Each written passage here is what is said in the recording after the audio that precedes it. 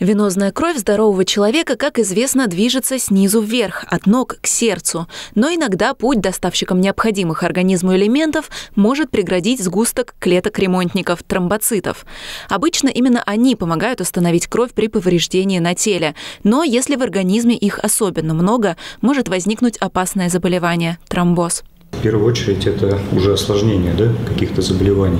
В группу риска входят какие пациенты? Это онкологические, процент, э, пациенты с хроническими заболеваниями, сердечно-сосудистыми, пациентами с травмами, с повреждением костных структур, пациентов, которые в анамнезе, там у кого-то из родственников были тромбозы, малоподвижные пациенты. Подверженных заболеванию много, но основная профилактика для всех одна – больше двигаться и периодически проходить диспансеризацию. Особенно важно обращать внимание на здоровье в условиях пандемии. У трети пациентов, перенесших COVID-19, наблюдают тромбозы. Последний год количество тромбозов увеличилось. Это, несомненно, связано вот с реакцией организма на вирус. Во Всемирный день борьбы с тромбозом медики призывают внимательнее отнестись к этому заболеванию. Ведь именно эти, казалось бы, незаметные сгустки крови, оторвавшись от стенок сосудов, несут инсульт, тромбоэмболию и инфаркт. Нужно предупреждать, нежели чем лечить уже острое состояние.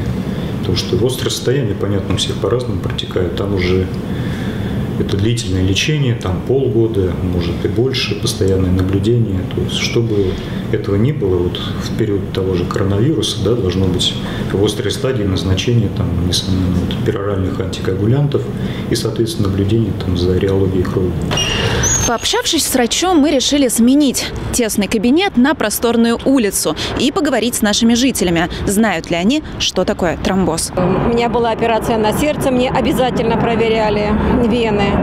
И э, в прошлом году переболела ковидом. Это обязательно проверяется. Тромбоз – это, конечно, страшное дело. Нужно обязательно, обязательно проверяться. Нужно обязательно посещать поликлинику. Так что это, это необходимо. Среди родственников такое заболевание присутствовало.